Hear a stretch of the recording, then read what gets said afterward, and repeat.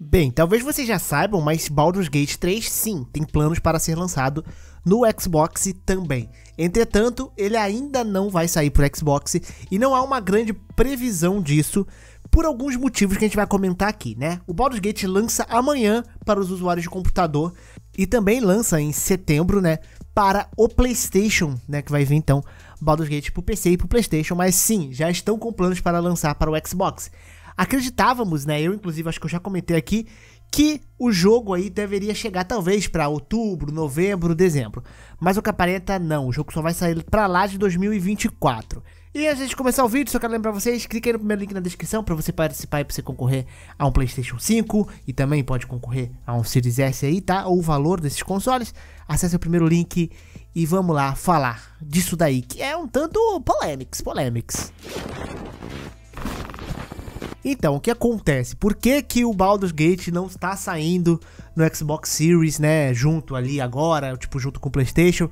É porque estão com medo de Starfield? Não, não é por isso. Claro que eles adiantaram o Baldur's Gate 3, que é justamente para não ter essa competição muito grande com o Starfield, né? E vão lançar em setembro no PlayStation, já que ele é exclusivo de Xbox, o Starfield.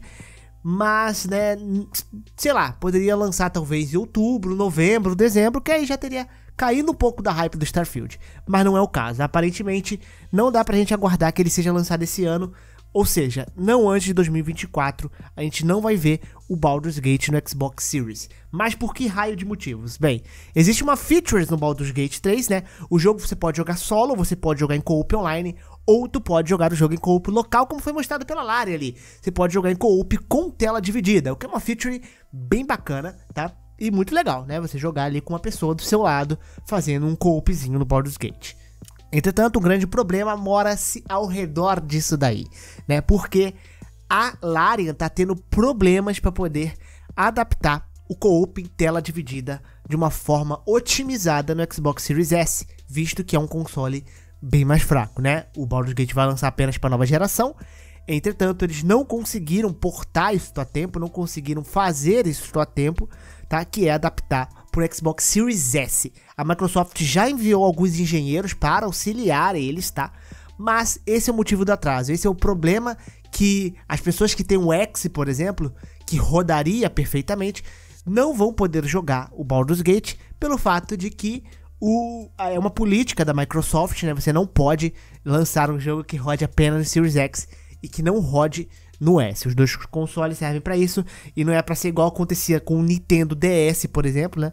Os 3DS que eles dividiam um pouco a base porque a, eu, esqueci, eu esqueço os nomes dos, dos 3DS, mas tem uma versão lá que tem jogo que roda e tem jogo que não roda em outro 3DS porque evoluía algumas coisas ali não era possível. E a Microsoft não quer fazer isso, né? Não quer prejudicar se você comprou um Series S, você, pô, não ter acesso ao catálogo de tudo que vai sair no Series X.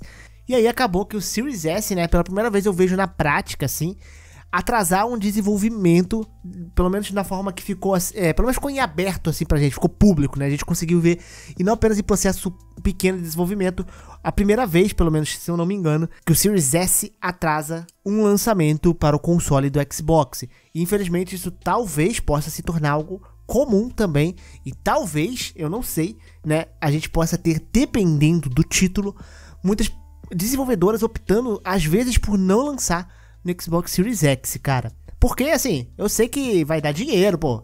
Tem, tem uma base de players instalada no Xbox, é claro. Né? Mas às vezes, será que o custo de desenvolvimento para você adaptar, otimizar totalmente pro Series S é assim válido dependendo do jogo? Claro que a gente vai ter jogos que vão funcionar normalmente, que é mais fácil de se otimizar, porque no caso do Baldur's Gate não é questão do jogo em si, é questão de uma feature do jogo que pesa, exige bastante, que é o co-op em tela dividida, né? Como se você tivesse é, renderizando dois jogos no mesmo console. E isso pesa, né? Porque o co-op de Baldur's Gate, o cara pode estar em qualquer canto do mapa, em qualquer lugar do mapa, e você pode estar em outro. Então, o jogo vai estar carregando duas instâncias, duas partes de mapa totalmente diferentes, né? Então, é algo que pesa de fato.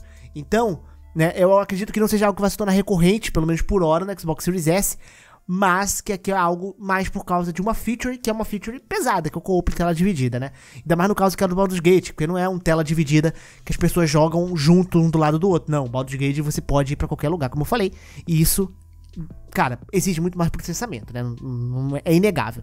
Então, é uma das pessoas que trabalha na área, ele chegou e falou: longe de sermos exclusivos, tá? Não temos nenhum acordo de exclusividade que nos peça lançar no Xbox. Ou seja, fiquem tranquilos, quem acha que pode não lançar, tem acordo, não tem nenhum acordo. O jogo eventualmente vai sair, até porque ele, ele falou que já tá trabalhando nisso. A questão é um obstáculo técnico, não podemos remover o recurso de tela dividida porque seremos obrigados a iniciar com paridade de recursos e, portanto, continuar a tentar fazê-lo funcionar. Então, né, essa aí é a explicação do desenvolvedor e é um obstáculo técnico bem complicado aí para poder lançar o Baldurzão a tempo ali, né, ou pelo menos junto ou alguns mesezinhos depois no Xbox e sim demorar um pouco mais. Infelizmente, né, as coisas são feitas de pontos positivos e pontos negativos, né? O Thomas Purra, que trabalha na Remedy, né, ele falou que ele sente a dor da Larian, né, com o Series S, e que não se trata apenas de otimizar no final, porque você tem que levar considerações, né, contas em conta, limitações técnicas desde o início do processo de desenvolvimento. E, né, quando você começa a fazer o jogo, você não quer pensar e já desenvolver o jogo de uma forma limitada. E é o que eu acredito aqui, eu acho que não haveriam planos iniciais para o lançamento, talvez nem no PlayStation, tá? Quando eu me lembro que anunciou no PlayStation foi meio que uma novidade, eu não lembro da Larian ter prometido que já ia fazer, tá? Posso estar errado. Mas é, eu acho que foi algo que foi no meio do desenvolvimento que eles falaram, pô, vamos fazer pros consoles também. E, infelizmente, a gente teve esse atraso com o Xbox Series S. O Xbox Series S é um console ruim? Não, de maneira nenhuma, não estou falando isso, tá? As coisas existem pontos positivos e pontos negativos. O Xbox Series S, dentro da proposta dele, ele é um console fenomenal. Porque o cara que não tem muita grana, ele vai conseguir entrar na nova geração, né? Ele vai entender a proposta do console. Você não vai pegar e ter gráficos incríveis no Series S. A proposta dele não é essa. Mas para entrar na nova geração, é um bom console.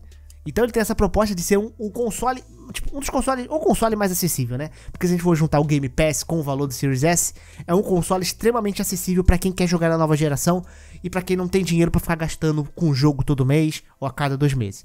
Ele tem essa proposta incrível. Entretanto, né? Essa questão dele ser mais barato acaba vindo com o preço que ele tá neste caso, atrasando o lançamento para o ecossistema todo do Xbox, também para quem tem, quem pagou mais caro no Xbox Series X, né? E assim, é um negócio complicado. Eu não sei se vale a pena, eu acho que não valeria, eu acho que teria muita reclamação se a Microsoft deixasse lançar apenas no Series X e o jogo não sair pro S. Eu acho que isso estragaria a proposta do console e muitos passariam já a olhar para isso como coisas que já iriam acontecer. Que se um vai fazer, as outras empresas vão ficar com preguiça de otimizar pro Series S, porque otimização é um negócio que gasta tempo e recurso, né? Então, não seria uma boa a Microsoft fazer isso. Mas a gente já tá vendo um pouco disso, né? Um pouco de desgaste do Series S, que por esse lado é um console muito bom em questão de custo-benefício, preços, mas tem este outro lado da moeda aí, né? Este outro ponto que acontece com ele, infelizmente. Mas, né, Espero que quando o jogo sair pro Xbox, ele saia bem bonitinho, bem otimizado, eles consigam fazer um bom trabalho, porque eu quero é que todo mundo jogue os Baldur's Gate. Eu quero que você tá no Play, se você tá no Xbox, se você tá no PC, eu quero que vocês joguem essa coisa maravilhosa que é Baldur's Gate, né? Então vamos torcer para que dê tudo certo aí no lançamento desse joguito, né? E meus queridos, esse aqui é o vídeo, eu espero que vocês tenham gostado. Um grande beijo, um grande abraço, um beijo no popô, até a próxima e tchau!